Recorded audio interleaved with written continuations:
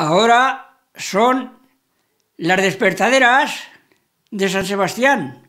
El día 20 de enero, festividad de San Sebastián, en Castejón se celebra la fiesta porque es el patrón del pueblo.